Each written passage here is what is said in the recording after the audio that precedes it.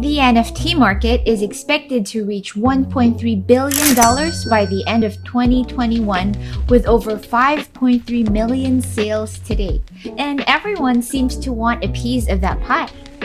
In this video, I'll be teaching you how to create and then sell these digital assets. Welcome to Next Level Finance, the channel where we teach you how to make money online with your financial freedom as the ultimate goal. And if that's the kind of content that you're interested in, then do hit the like, subscribe, and notification bell buttons down below to make sure that you don't miss out on any of our content. And with that said, let's get right into it. The acronym NFT is short for Non Fungible Token. And to understand that simply, let's talk about the word fungible. Fungibility refers to something that you can exchange or replace. Just think of how you would use currency and exchange it for other things, like maybe a dollar for four quarters. On the other hand, anything non fungible would be the opposite. You cannot simply replace or exchange non fungible goods for other things. Examples of this would be rare coins, signed first edition copies of books, or original artwork. Similar to these rare, irreplaceable items, a non fungible token, or simply an NFT, acts as a unique digital collectible that cannot be duplicated, making it rare by design. Each NFT is unique and has a non hackable certificate of authenticity. They can represent almost anything like art, graphics, music, videos, images, you name it. NFTs can also be purchased, collected, sold, or even destroyed just like physical items. Thanks to the blockchain, they come with a transparent transaction and pricing history that's visible to anyone with an internet connection. Creating your own NFT artwork is a pretty straightforward process and doesn't require you to have an extensive knowledge of the crypto industry. As of today, there are hardly any but a few restrictions as to what kind of content can be turned into an NFT. The technology is also still quite new, which makes it an opportune time to experiment with the medium for your own work as both the market and the demand for it continues to grow. Again, you don't need to be a crypto expert to start. In fact, you can get everything set up in just a few minutes right from your phone. So first off, you'll need to decide which blockchain you'll want to issue your NFTs on. This is usually Ethereum as it is the leading blockchain service for NFT issuance. But do feel free to explore others. There are quite a number around already, such as Flow by Dapper Labs, the Binance Smart Chain, Polkadot, EOS, Tron, etc., etc., etc. You'll need to note that specific marketplaces can be blockchain specific or compatible. For example, if you decide to go with the Ethereum blockchain, you'll only be able to trade in marketplaces that accept Ethereum as a currency, just like OpenSea. Once you've selected which one you want to use, you'll then need to set up a digital wallet that will allow you to store cryptocurrency that you'll be using to create NFTs and trade them. You'll need this wallet to create accounts in the NFT marketplaces as well.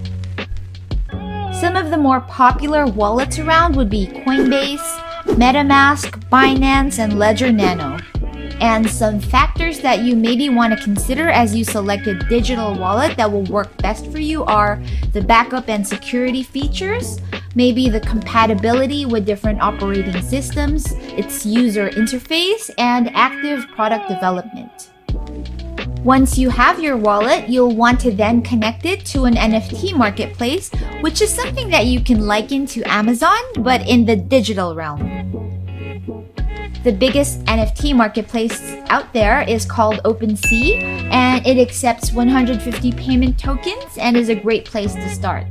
The OpenSea marketplace also has a ton of digital assets available on its platform. It's free to sign up and browse the extensive offerings.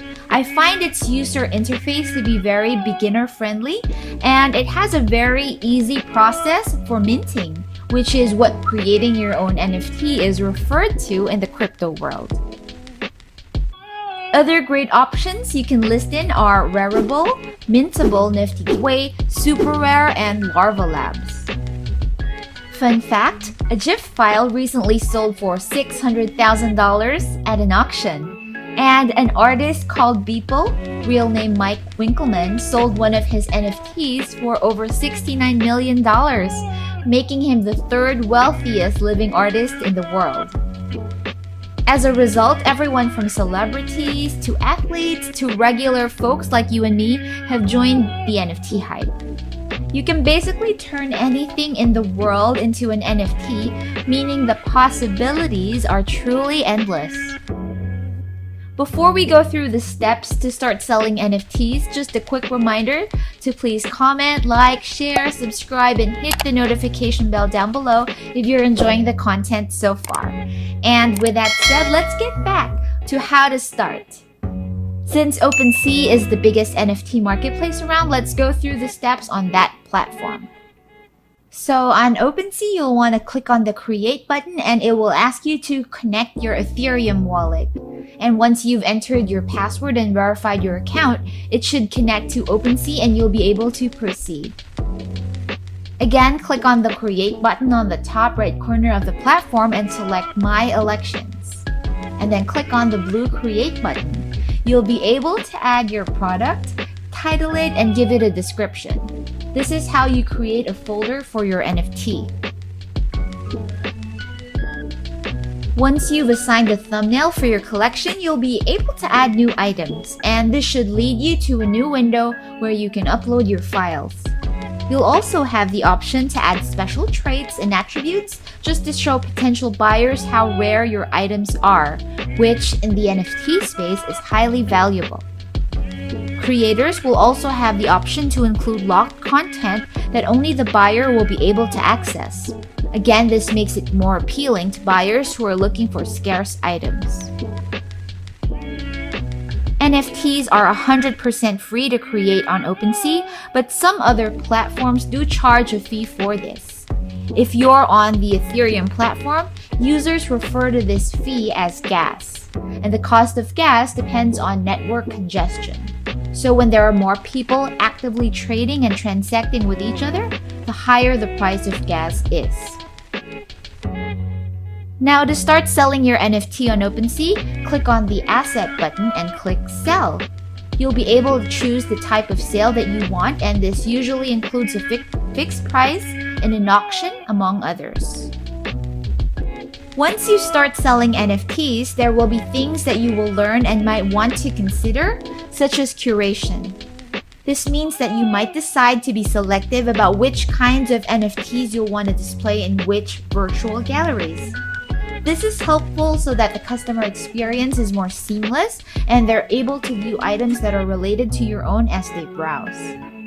Besides looking more aligned and well thought of, displaying your NFTs with related items should also help the price discovery of your assets. And that's basically all you need to know and do to start selling NFTs online.